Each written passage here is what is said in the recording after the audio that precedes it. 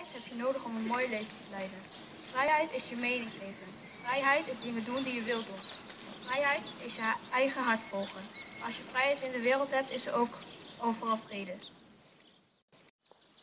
Wisten iedereen te vinden, zoveel macht, regen en wind. Het gaf buiten zitten. Al die bommen en schoten, jarenlang onderdrukking. In het midden van de 20e eeuw. dus steeds meer kracht.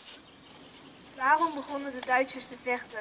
Ook de Joden hebben rechten. De oorlog duurde heel erg lang. De onderduikers waren erg bang. Het was geen pretje om erin te leven. Er is zelfs een leven nageschreven. Je kon niet meer vrij naar buiten. En je, kon je, en je mag je mening niet meer uiten.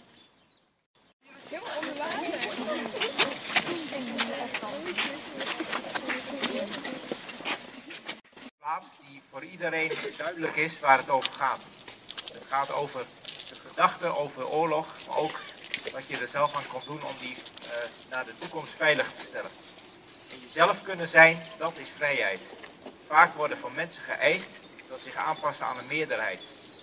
En als ze zich niet aanpassen, worden ze uitgesloten. overleed zaterdag de laatste bevrijder van Delden, die nog in leven was.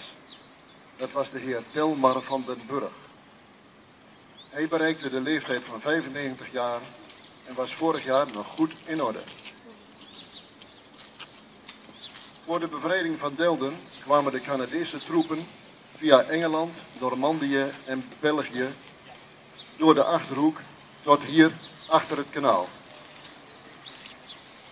Ze kregen de opdracht op 3 april 1945 het Twentekanaal over te steken. Tussen de Sint-Annabringbrug en de Groenebrug.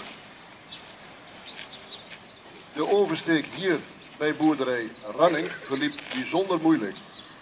Want hier aan deze kant van het kanaal waren veel fanatieke Duitsers die goed bewapend waren.